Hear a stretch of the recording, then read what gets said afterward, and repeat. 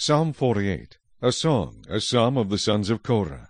Great is the Lord, and greatly to be praised in the city of our God, in his holy mountain.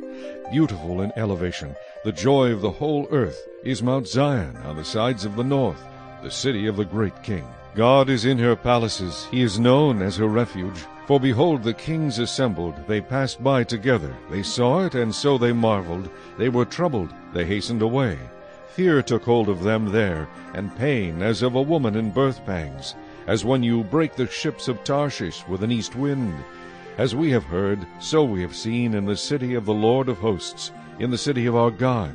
God will establish it forever. Selah. We have thought, O God, on your loving kindness in the midst of your temple, according to your name, O God. So is your praise to the ends of the earth. Your right hand is full of righteousness. Let Mount Zion rejoice, let the daughters of Judah be glad, because of your judgments.